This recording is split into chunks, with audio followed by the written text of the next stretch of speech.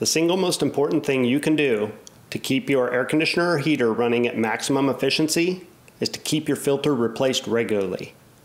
It's fairly simple to do and relatively inexpensive. You can find a number of filters at your local hardware store that will technically work with your system. Generally speaking, however, you get what you pay for. Most filters have a MERV rating right on them.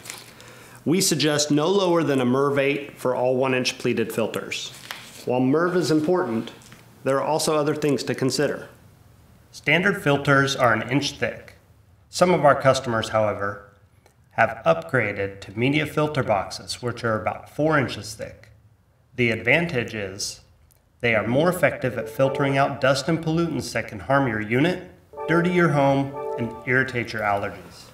Plus, it'll last up to eight times longer than a one inch filter.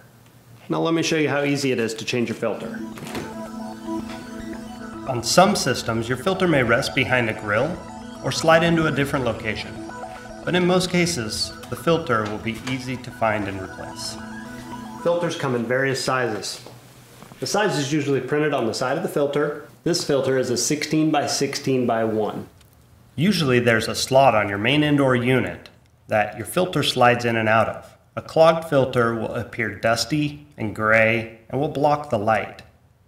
If you pull out your filter and it's still in good shape, no problem. You can just push it back in.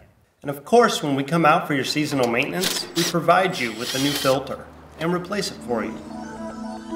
We hope this video has been helpful.